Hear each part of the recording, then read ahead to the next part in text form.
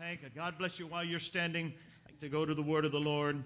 Thank God. And normally I read my text and then I give the title, but today I wanted to set the stage what I want to preach about with the title today. And so I just kind of wanted you to have this thought in mind while we're reading the scriptures today.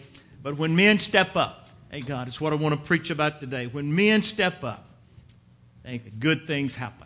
Praise God. And so that's what I am going to be praying today. It's that every man that's in this building today will understand how important you are in God's plan for the family. Thank God. When God designed the family, He put the man in a position that if he will fulfill his role, then everything else is going to go so much better for the family. Hebrews chapter 11 and verse number 7 By faith, Noah, being warned of God of things not seen yet, moved with fear, prepared an ark for the saving of his house. Thank God. And that's the part I like because it wasn't just about Noah, but it was about his whole house.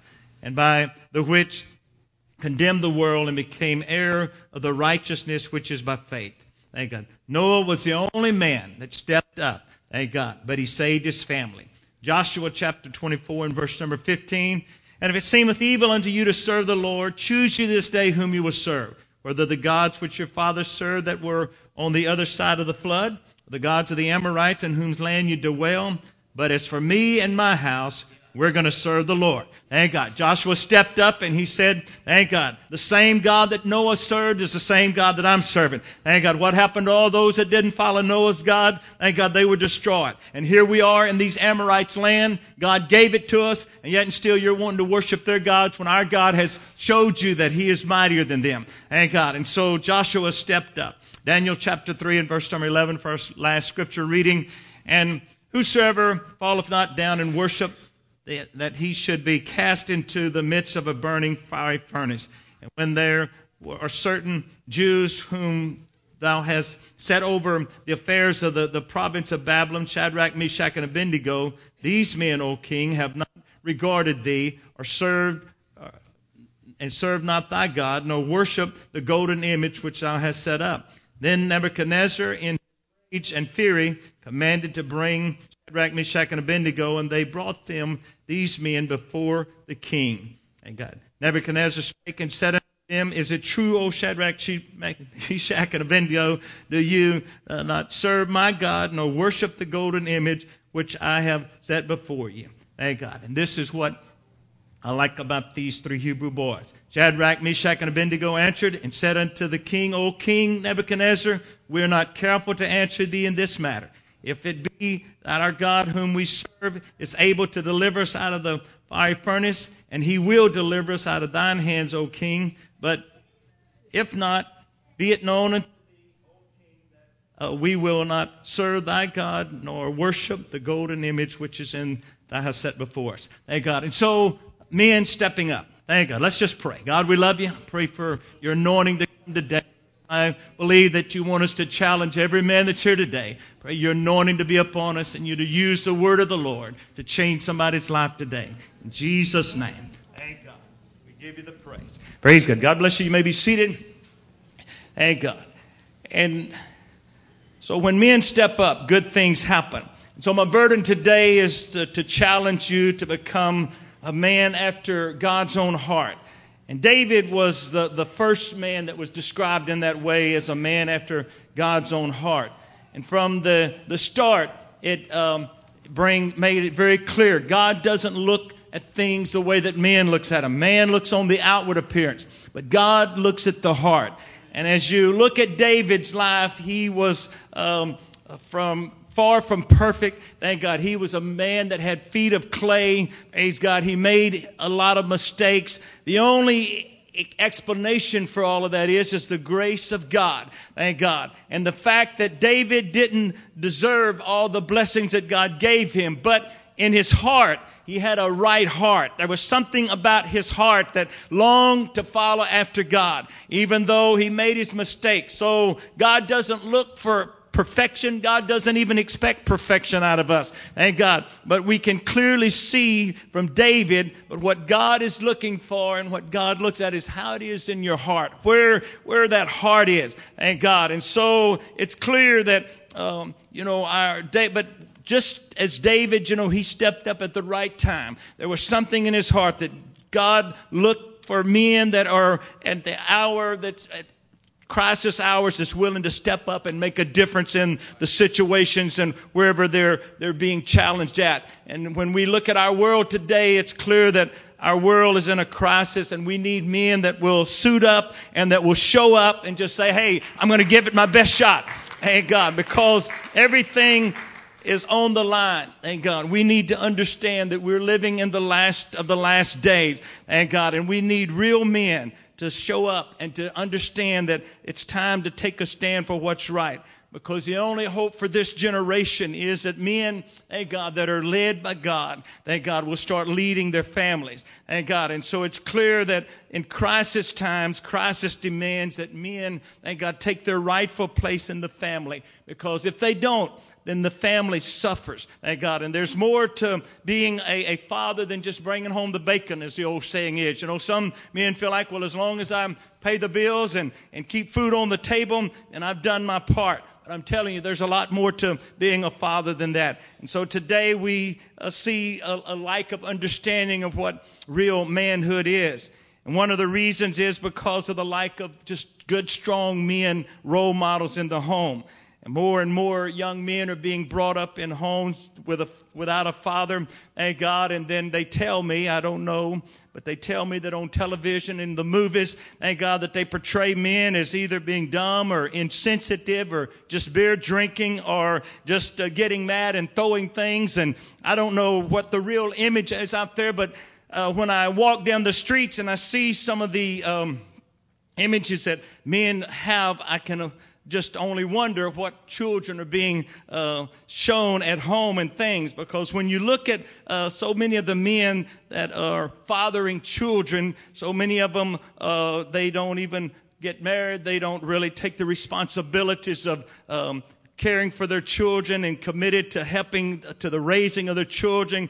And they do um, uh, when they do try to do that, they're not always that great of a role model because the truth of the matter is, is that what parents, so many parents fail to realize is that most of your teaching is by example. Thank God. Most parents don't want their children to grow up like them. Thank God. And so they say, do as I say and not as I do. So don't smoke and don't drink and don't do drugs, thank God. But they do all of those things in front of their children and then wonder why that they're having to deal with children that are making bad choices. But the truth is, is that your example is the most important thing that you can leave your children. Thank God. And it's clear what we need is for some real men to step up and to say, thank God, what Joshua said, as for me and my house, we're going to serve the Lord. Praise God. I'm going to be doing everything I can to help you to follow after Him and God. And so, as our world deals with the crisis that it is in today, thank God, we ever need men that can step up and that can lead the way because crisis demands leadership. And God, and God designed that men should lead. And so today I want to challenge every man Thank God that it's what Joshua did. Thank God when he saw the people were beginning to turn towards the gods that were around them and began to slack up on the things of God. Thank God that's when he stepped up and said, I don't know what you're going to do, but I know what we're going to do. We're going to serve the Lord that brought us here, the God that brought us out and that he can keep us on. And so today I want to challenge you men to understand that you need to make choices because your choices are going to affect the choices of those that follow behind you. Thank God. And so if men will give clear direction, thank God, they're going to see some good things happen in their lives. Thank God. You need to say, um, not in this house. Thank God, not at this time. Thank God, we're going to do things the way that the Word of God says to do things. And so thank you for having come today and somewhere that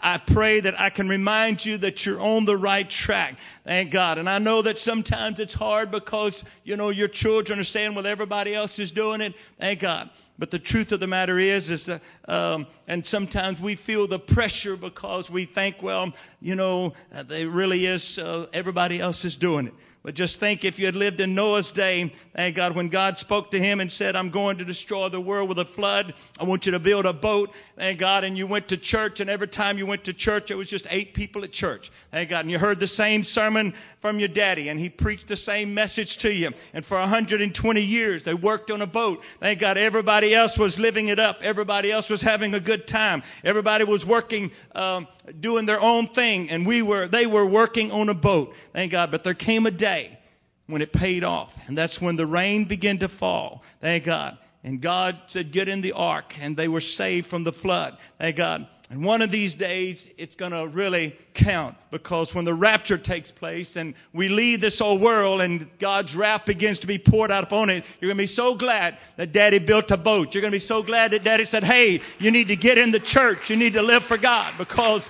it's getting late.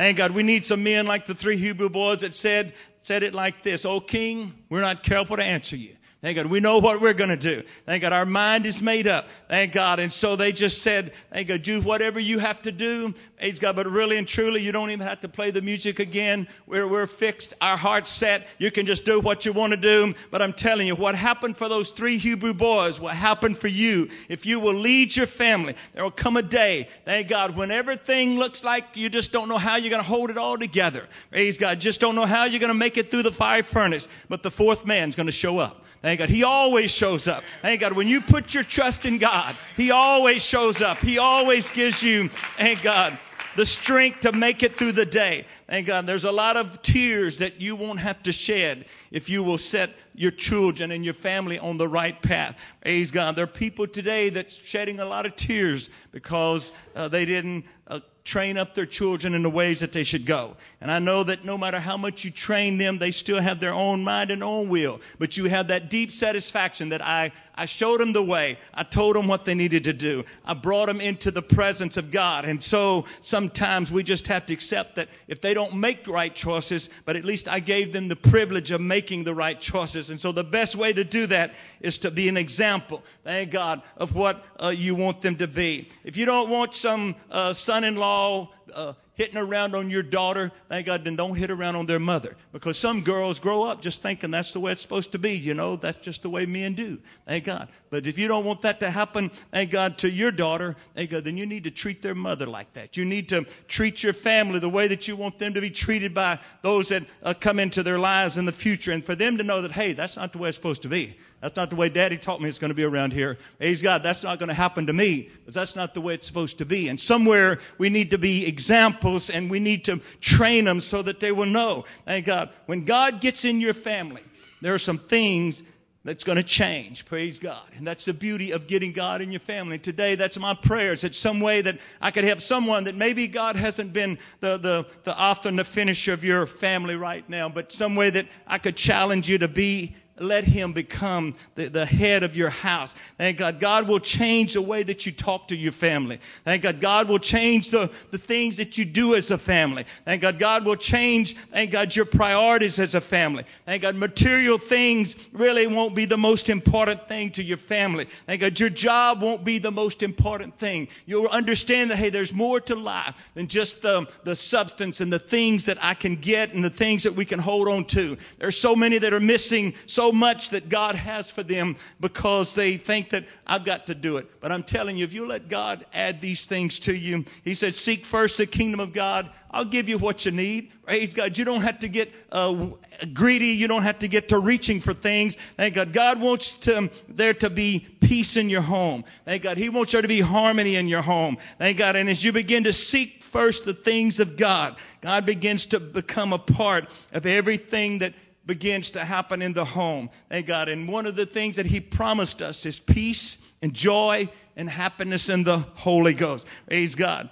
And it doesn't happen instantly. And so I'm not promising you today, if you come down here and get the baptism of the Holy Ghost, that tomorrow it's going to be perfect. But I am promising you this one thing. If you'll walk with Him, thank God, things are going to begin to change and your life is going to begin to take on a whole new meaning. Praise God. And so, Thank God there are times that we drop the ball. Thank God there's times that uh, we uh, don't walk in the spirit. And so we find ourselves battling the same things that neighbors battle. But uh, there's something about the presence of God that keeps drawing us back and saying, Hey, you, you, are not doing it right. But if you'll do it right, it'll get better. Praise God. And so there's struggles, but there is something that says it's better than it was. Thank God. And it's only going to get better as I get closer and walk more in harmony with the things of God. And so in the military, they have some people that are called special forces.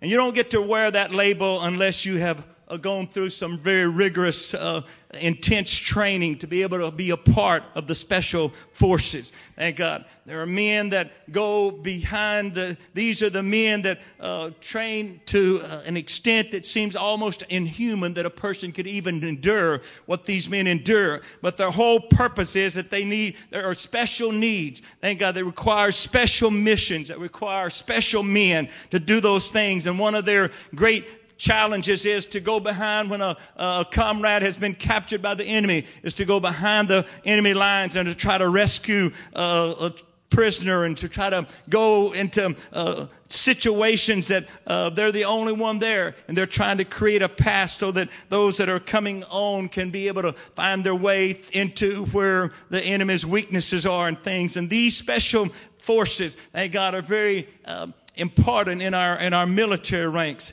and that is what, when you read the Bible, you read about special men, thank God. And the reason they were special is because they learned how to walk in the Spirit. They learned how to hear the voice of God and they learned how to respond to the voice of God. And today, I want to challenge you to understand that there is a voice that will speak to you in every situation, be it a family situation, be it a financial decision, be it whatever decisions you're trying to make. If you will seek God, it's amazing how that he can guide you. So what God looks for, thank God, is a heart, thank God, that is towards him. A man after his heart that has a passion for his purpose, that's willing to lay aside every weight and every sin that does so easily and distract him, thank God, and just say, thank God, whatever your will is, not my will, but thy will be done. Thank God. All God needs, thank God, in a crisis is for someone to step up like David when no one else would go and fight the giant. David said, Thank God, I'll go. And somewhere God just looks for that man. So today it's no different. Thank God, there are giants that we need to take down. There are giants that we need to conquer. And the only way we're going to conquer that is to say, Thank God, as for me and my house, we're going to serve the Lord. Praise God. While we're standing today, thank God, let's just understand this one thing. It all starts with a commitment. It all starts with just saying, hey, thank God, not what I want, but what God wants in my life. And the best place for that to start is at an altar. Thank God. And I thank God for the day that I made my way to an altar with a made up mind. He's God. As a young person, I went to the altar many times and said, I'm going to live for God, only to walk out and not live for God. But there was a day when it was different, and I made up my mind. Thank God. From this day forward, thank God it's going to be different. Praise God. And for sure, I haven't been perfect, and for sure, I've made a bunch of mistakes along the way. But there was a heart that was fixed that I'm going to live for God. Thank God. Just knocked me down, but I'm getting back up because I'm going to live for God no matter what it takes. And so today, it's no different. Thank God. God wants you to lead your family in prayer, He wants to lead your family in worship, He wants to lead your family in being involved in the work of God. Thank God. No more me first, no more living for yourself Thank God, and putting yourself before your family. But somewhere you make up your mind. Thank God, whatever I have to lay aside, I'm going to lay aside because I want to set a path that my family can follow. And I know that they're going to be safe.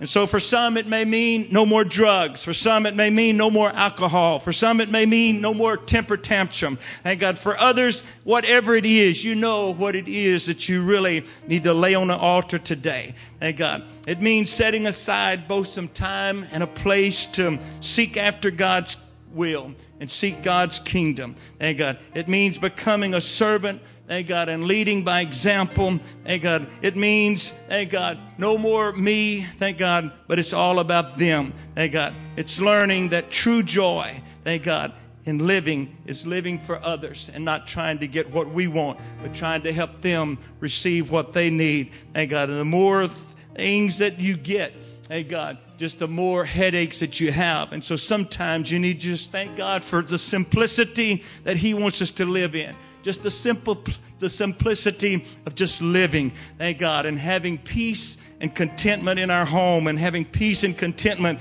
in our lives. And so if you're here today, thank God, as a family, thank God, I'd like to invite you just to come and stand together as a family as we sing a song and we just kind of agree, uh, commit ourselves to God.